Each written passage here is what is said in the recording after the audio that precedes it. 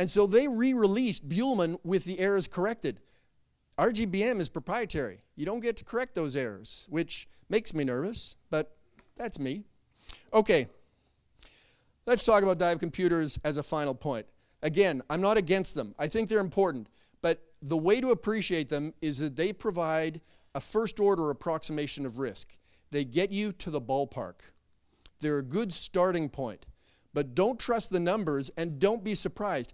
If you get bent, the words that should never come out of your mouth in about 99% of the cases are this was an undeserved hit.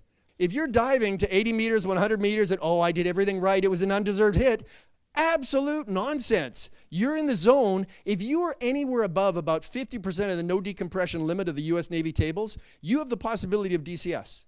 So if you get hit, there's nothing undeserved about it. It may be unfortunate, it may be sad, it may be whatever, but it's not undeserved. Okay, so first order approximation of risk. And the biggest rule I want you to remember about um, this, the critical truth, is that math doesn't equal physiology. Never, never. If you go back 300 years, people used to take the dimensions of your head, distance between your eyes and your ears, and they would determine how intelligent you were. Yeah, and we still believe in that stuff.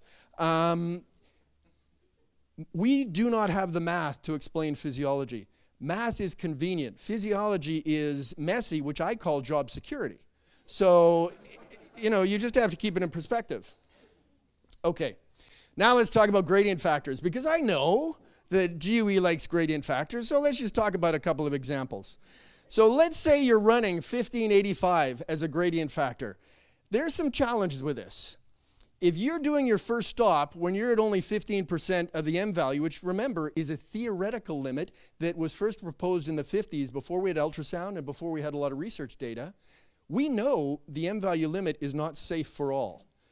So if you do your first stop at 15% of the M value, they say you do that so you control bubble formation. Well, that's true. You're controlling bubble formation at a point where you don't have enough decompression that we would ex ever expect bubbles to form. But you have another problem there, and that is that you're taking on inert gas in any tissue that is not saturated. And so every minute you stay there, you're not stopping bubble formation because we wouldn't have them there. But you are taking on inert gas. And then if you go up to 85, you're 85% of a limit that we know is not universally safe.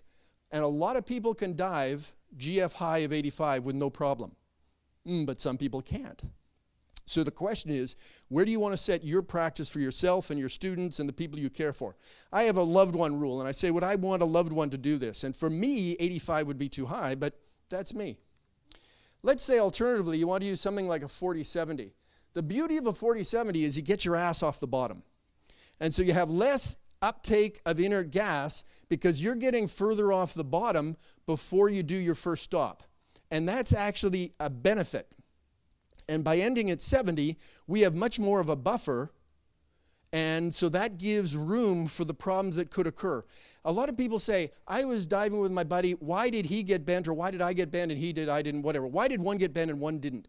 I am a firm believer that there's no such thing as two identical dives there are always differences. There could be difference in trim, in tank pressure that would adjust trim, in the amount of work, in any number of things. No two dives are the same. And so you want to make sure you have a buffer.